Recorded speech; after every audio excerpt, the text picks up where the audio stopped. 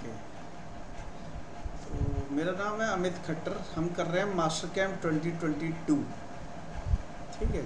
तो इसके अंदर हम कुछ थ्री की प्रोग्रामिंग देखेंगे कि अगर मेरे पास कोई थ्री मॉडल है हुँ? हम्म, तो उसके अंदर मैं काम कैसे कर सकता हूँ? तो उसके लिए एक हम छोटा सा कोई मॉडल खोल लेते हैं और उसको मशीनिंग करके देखेंगे कि स्टेप बाय स्टेप कि क्या चीज़ कर, करने के लिए हमारे को क्या क्या ऑप्शन की ज़रूरत पड़ेगी ठीक है? तो ये मेरे पास एक ऑलरेडी मॉडल है, जिसको मुझे मशीनिंग करना है। ठीक है? तो सबसे पहला काम क्या करूँगा, मैं वैसे मिलिंग मशीन लूँगा। ठीक है? फ़ाइल को सेव करते रहना है साथ साथ तो ये अच्छी आदत होती है कि अगर साथ साथ सेव करेंगे तो वीडियो देखने का बेस्ट तरीका क्या है कि जैसे जैसे मैं यहाँ पे कर रहा हूँ, वैसे वैसे करेंगे तो बहुत इजीली समझ में आएगा। ट्रांसफॉर्म में जाके मूव टू ओरिजिन करके हम इसका ओरिजिन कहीं पे भी सेट कर सकते हैं। सेंटर में करना है सेंटर में कर लो। फ़र्स्ट क्वाड्रेंट में करना है सेकंड में करना है। डिपेंड करेगा कि हमारा जो ऑपरेटर है, उसको ईजी कहाँ पर रहता है है ना? तो उसके हिसाब से हम मशीनिंग कर सकते हैं। तो स्टॉक भी हम क्रिएट कर सकते हैं, यहाँ पे स्टॉक सेटअप में जाएँगे ऑल एंटिटी करेंगे तो स्टॉक भी क्रिएट होगा। ठीक है? तो टूल पाथ में जाएँगे, यहाँ पे हमारे पास बहुत सारे टूल पाथ है। एरिया रफिंग का भी है पॉकेट का भी है, बहुत सारे टूल पाथ है। तो सबसे पहले हम पॉकेट बिलिंग करते हैं, ताकि मैं मोटा मोटा मटेरियल कटिंग कर सकूँ। तो जिस भी पॉकेट के अंदर क्लिक कर दूँगा डबल क्लिक किया मैंने, यहाँ पे देखो लिखा हुआ है। Double click to select a feature तो जिस फीचर पे मैं क्लिक कर दूँगा, और उसको एक कंटेनमेंट बाउंड्री दे दूँगा, उस बाउंड्री के अंदर अंदर जो है मेरा टूल चलेगा। तो टूल के लिए हम कोई भी टूल यूज़ कर सकते हैं वैसे तो पर हम फ़िल्टर ऑन कर लेते हैं एंड मिल तो एंड मिल में ले लेता हूँ तकरीबन बड़ा भी ले सकते हैं, दस एम का ले रहा हूँ मैं। टूल नंबर ज़रूर देना है। लेंथ ऑफ़ सेट टूल का डायामीटर आ रहा है कॉर्नर रेडियस अगर है तो वो आ रहा है फ़ीड रेट स्पिंडल स्पीड सब कुछ आ रहा है यहाँ पे। तो मैं जितनी वैल्यू देना चाहता हूँ वो देने के बाद यहाँ पे कमेंट भी लिख सकते हैं। तो कमेंट में मैं लिख दूँगा यहाँ पे कैम सॉल्यूशंस कुछ भी, जो भी हम यहाँ पे लिखेंगे, वो हमारा नोटपैड में आएगा। ठीक है? तो जो भी नोटपैड में जो हमारा प्रोग्राम जनरेट होगा ना, वहाँ पे लिखा हुआ आएगा। तो कोई अगर मेरे को इन्फॉर्मेशन देनी है ऑपरेटर को तो वो चीज़ हम दे सकते हैं। सरफेस पैरामीटर में मैं स्टॉक कितना छोड़ना है है ना? तो वो आ रहा है यहाँ पे। फ़ीड प्लेन कहाँ है, रीट्रैक प्लेन कहाँ है, क्लियरेंस प्लेन कहाँ है, वो भी आ रहा है। रफिंग पैरामीटर में जाऊँगा अगर मैं तो स्टेप डाउन आएगा। कि स्टेप कितना देना है हमारे को ये हर बारी कट कितने का लगाएँगे। तो मान लो मैंने पॉइंट एट का कट लगाया। तो यहाँ पे अलग अलग पॉकेट के पैरामीटर्स हैं कि हमारे को टूल पाथ चलाना कैसा है। तो मान लो मैं हाई स्पीड ले रहा हूँ। और टूल का स्टेप ओवर टूल के डाई का 45 परसेंट लेंगे हम स्टेप ओवर फिनिशिंग कट में एक पास चाहिए मुझे पॉइंट टू का दे देता हूँ मैं, ताकि सारा कटिंग करने के बाद एक फिनिशिंग का कट भी लगेगा ओके करेंगे? तो ये टूल पाथ जो है जनरेट हो जाएगा, ठीक है? तो ये नीचे देखो कैलकुलेशन हो रही है तो ये टूल पाथ हमारा जो है क्रिएट हो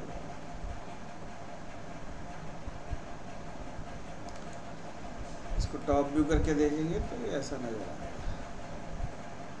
अब सबसे अच्छी बात मास्टर कैम की क्या है कि कभी भी इसकी जोमेट्री पे क्लिक करके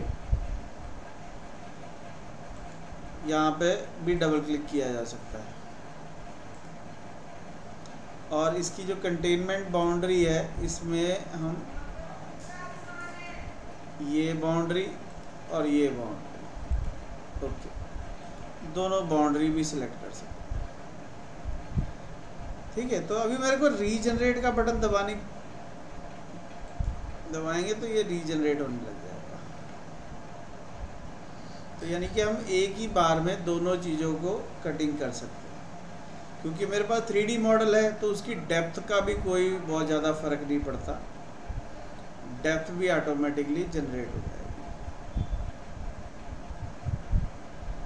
ठीक है।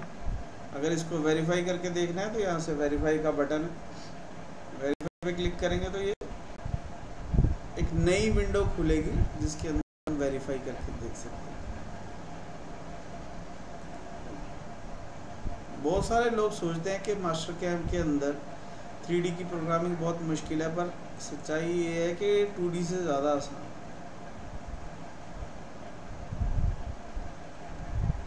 ठीक है तो स्पीड हम तेज़ करके इसको वेरीफाई करके देख सकते हैं कि कहाँ कहाँ कटिंग होनी है, कैसे कैसे। जो हमारा बीच वाला पार्ट है, वो ऑटोमेटिकली छोड़ देगा। वो ठीक है? अगर हमारे को इसका प्रोग्राम जनरेट करना है तो दो चीज़ों का ध्यान रखना पड़ेगा। पहली चीज़ मेरी फ़ाइल फ़ाइल के अंदर मशीन कौन सी है? तो यहाँ से हम रिप्लेस कर सकते हैं, जो भी हमारी मशीन हो। ठीक है? जैसे ये ब्रिज पोर्ट की है जेनरिक फेडल की है मिस्तुबिशी की है मज़ाक की है हाइडनाइन की है। तो जो भी आपकी मशीन है थ्री एक्सिस की है फोर एक्सिस की है एम mm वाली है या इंचज़ वाली है वर्टिकल मिलिंग मशीन है, कौन सी मशीन है आप तो जो भी मशीन है, हम यहाँ पे milling three axis vertical milling machine select कर रहे हैं एम mm की। तो वो मशीन सेलेक्ट कर लेनी।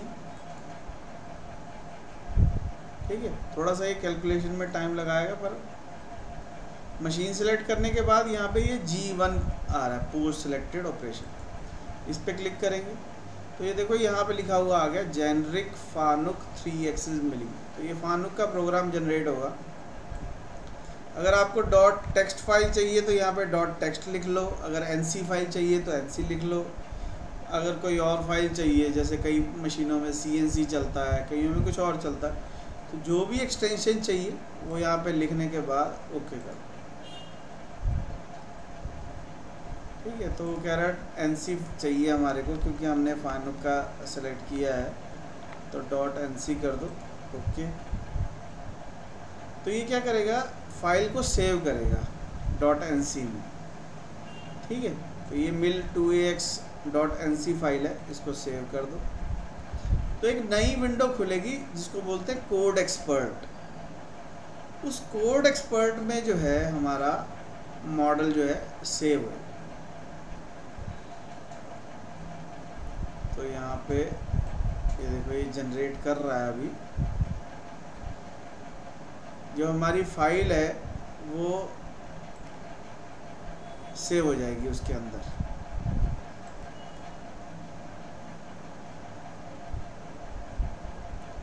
कोड एक्सपर्ट के अंदर।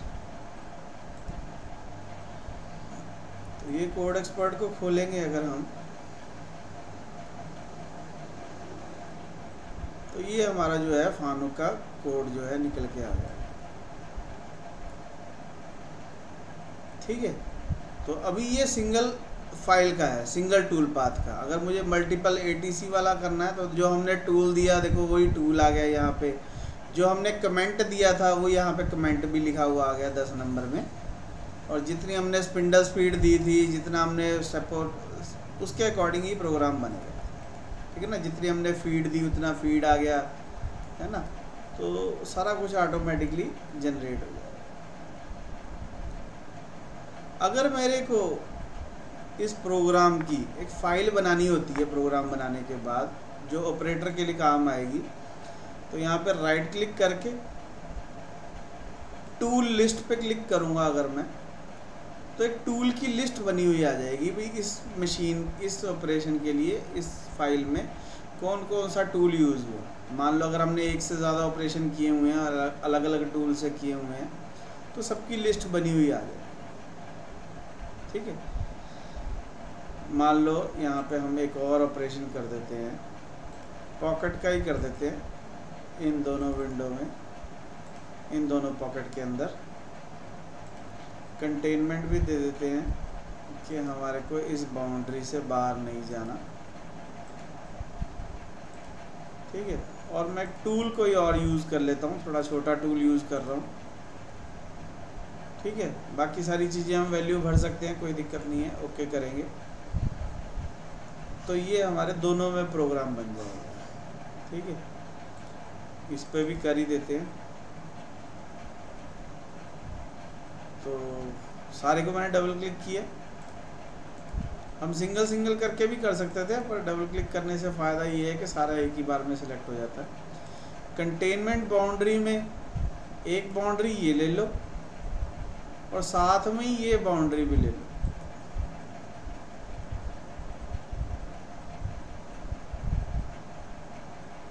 ये बाहर वाली बाउंड्री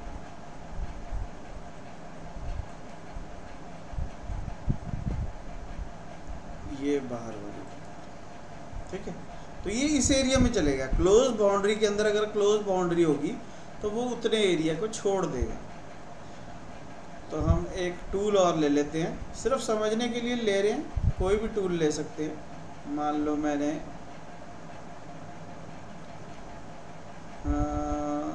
चौदह एम का ले लेते हैं।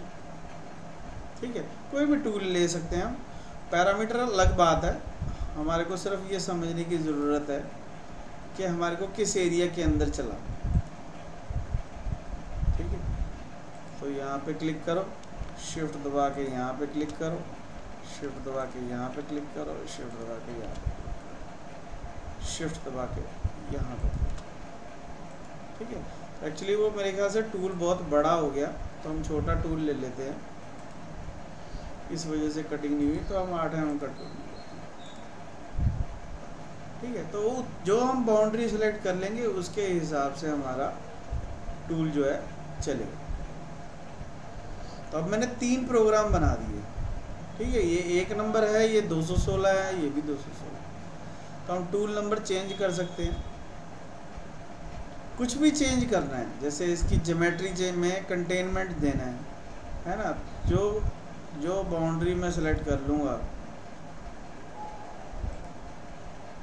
है ना? कि इस बाउंड्री के बाहर बाहर रहना है हमारे। तो हमारे को बस रीजनरेट दबाने की ज़रूरत है। तो वो उतने एरिए को छोड़ देगा।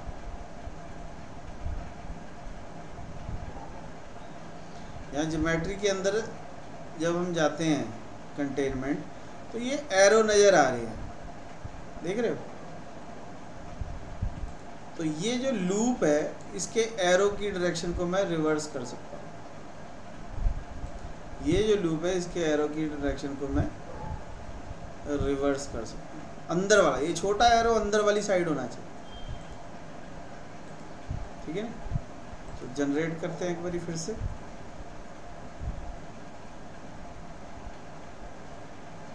भाई, कौन से एरिए में हमारे को चलाना है? ये उल्टा हो गया मेरे को लगता है। तो हम जोमेट्री में जाते हैं कंटेनमेंट में जाते हैं। इन तीनों को ही रिवर्स कर रिवर्स रिवर्स इसको भी रिवर्स कर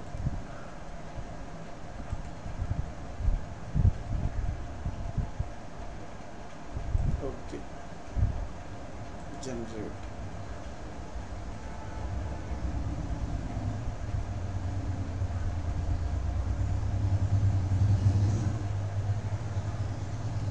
चलो हम मुद्दा हमारा ये है कि हम इन तीनों को का इकट्ठा प्रोग्राम बनाना चाहते हैं। ठीक है तो हम गए टूल लिस्ट के अंदर। तो टूल लिस्ट में ये हमारे को तीनों टूल दिखाने लग गया। ठीक है, ये 216 कर दिया इसने 217 कर दिया। अपने आप नाम वगैरह चेंज कर दिया। और अगर मेरे को इस पे जाऊँगा मैं सेटअप शीट पे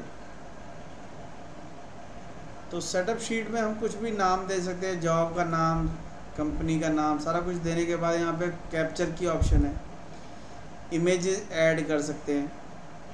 कोई पर्टिकुलर शेप में अगर फ़ोटो खींचना चाहते हैं हम, ऐसे करके तो यहाँ पे कैप्चर कर दो तो वो कैप्चर हो जाएगी। ओके करेंगे। फ़ायदा क्या है? जैसे ही मैं ओके करूँगा तो ये सारे टूल पाथों का हमारे को एक लिस्ट बना के देगा भी इसमें कौन कौन सा ऑपरेशन हुआ कैसे कैसे हमारा टूल पाथ चला। पूरी की पूरी लिस्ट आ जाएगी।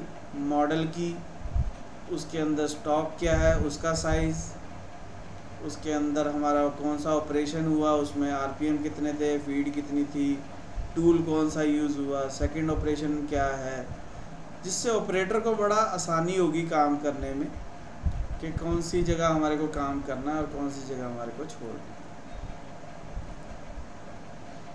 ठीक है ना? कभी भी किसी भी वक्त हम के किसी भी जोमेट्री को चेंज कर सकते हैं। अगर मुझे को इसमें ऐड करनी है बाउंड्री तो ये बाउंड्री ऐड भी कर सकते हैं। ठीक है नहीं जो भी ऐड की है, उसको, उसका छोटा वाला एरो किस साइड होना चाहिए? ये चीज़ का भी ध्यान रखना। जनरेट करेंगे। ओके करेंगे।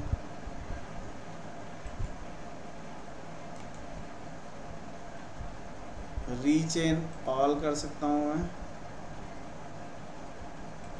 बाउंड्री सेलेक्ट कर सकते हैं। ओके। फिर से जनरेट कर दो।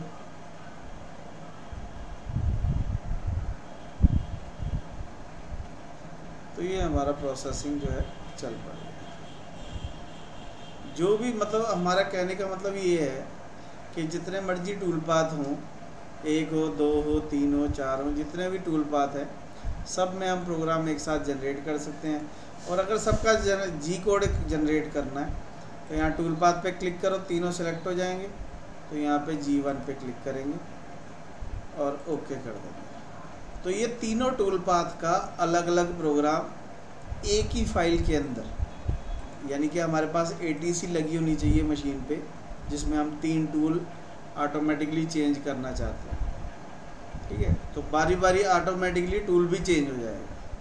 क्योंकि हमने तीनों को एक साथ सेलेक्ट किया हुआ है तो ये अपने आप उस हिसाब से कोड लेगा और अपने आप जो है मशीनिंग भी कर देगा।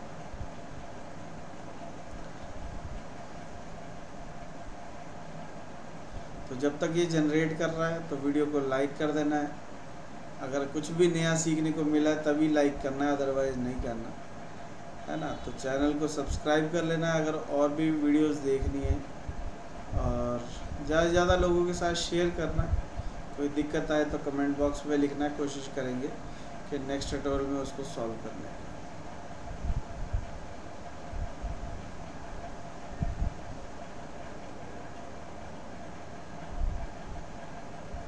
तो ये हमारा जो है जी कोड जनरेट हो जाएगा।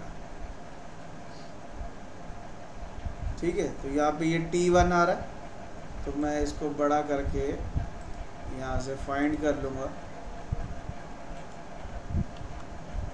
टी को नेक्स्ट करेंगे तो ये देखो, ये आया। एक ये टूल है, दो नंबर एक और बैक करेंगे। तो ये 216 नंबर ठीक है? तो ये ऑटोमेटिकली टूल चेंज भी कर लेगा और सारा कुछ ऑटोमेटिकली प्रोग्राम जनरेट भी कर देगा। ठीक है? तो वीडियो पसंद आए तो लाइक करना है चैनल को सब्सक्राइब कर लेना है बेल आइकन भी दबा देना है। जितने भी सीएनसी प्रोग्रामर हैं या सीएनसी ऑपरेटर हैं, सबके साथ वीडियो शेयर करेंगे। ज़्यादा से ज़्यादा लोगों के साथ तो ज़्यादा से ज़्यादा लोग मास्टर कैम्प सीख सकें।